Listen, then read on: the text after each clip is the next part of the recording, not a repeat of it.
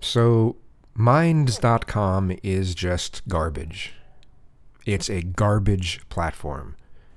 Do you see this? How this post is in my feed? This is from someone I've blocked. I didn't want to block them, I just wanted to unsubscribe from them.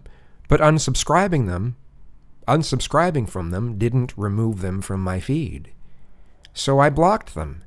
And they're still in my feed. And there's apparently nothing I can do about it.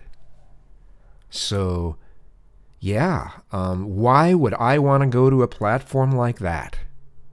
The only reason why I was trying it again is because Google Plus is going to be closing. It's going to be, it's next year. It's supposed to be August of next year, but I want to try to figure out another platform, and sure doesn't look like it's going to be Minds, especially since the majority of the people on it are, are Trump tards. So